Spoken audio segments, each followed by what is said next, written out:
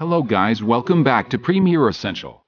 In the previous video we had look how to import file into Premiere Pro. And today we will learn about some basic of source panel, which help to you work in your sequence. Let's open Premiere Pro. Here is the last video file in our project panel. Before we use it in sequence, let's know about some basic of source panel. You can simply double click on your video and your video will show you in the source panel. You can play or pause your video with spacebar.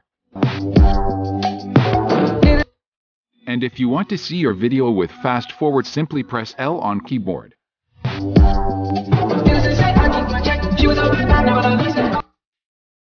And if you want to see your video with reverse speed simply press J on keyboard.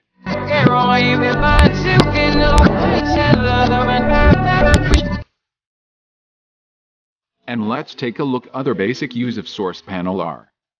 First, if you want to take video or audio separately, you can simply select the video icon and drag into your sequence for video.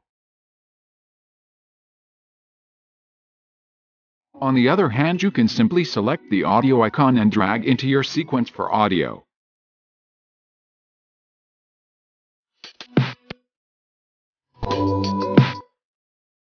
Second and very helpful feature of Source Panel is you can trim your video or audio file.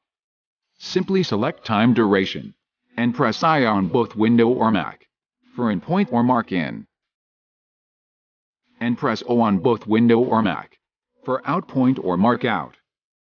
And again drag and drop your video into the sequence. Now your video is trimmed and there are other options are given into the source panel you can simply click and check them. Now it's time to goodbye for today. We will work into the sequence in next video. I hope you like this video kindly comment your feedback. Thanks for watching Premiere Essential.